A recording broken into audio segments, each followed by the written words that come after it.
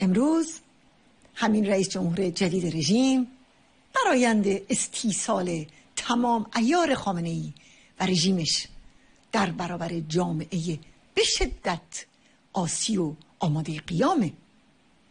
رئیس جمهور خامنه ای میگه رژیم در خطر است.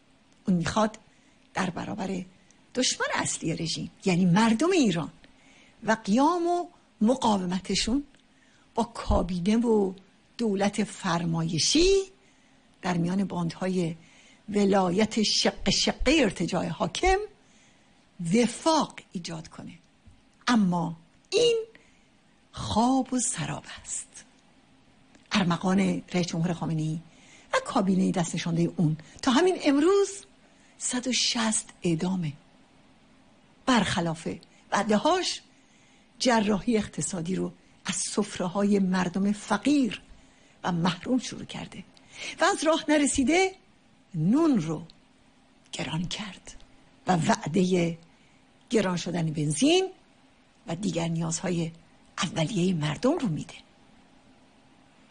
ادامه های روزانه و بیوقفه در حاکمیت خامنه زحاک در وحشت از خشم و قیام مردمه از جمله ادامه شورشگر قهرمان رضا رسایی. فرزند دلیر مردم صحنه و زندانی سرفراز کامران شیخه از فرزندان مردم اهل سنت. بله. اعدام و اعدام و اعدام. این است وفاق همه جناهای رژیم در مقابل مردم ایران.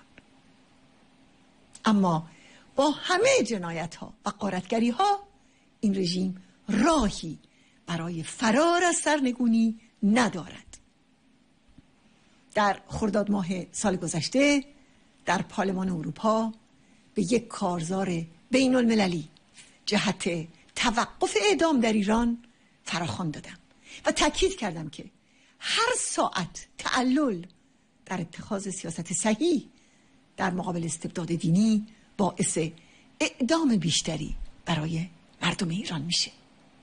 در همین جا از تلاش های شما اشرف نشان ها اعضا و هواداران مقاومت ایران و مدافعان حقوق بشر در این کارزار تقدیر می‌کنم و عموم هموطنان رو به گسترش کارزار نب ادام فرا می‌خوانم.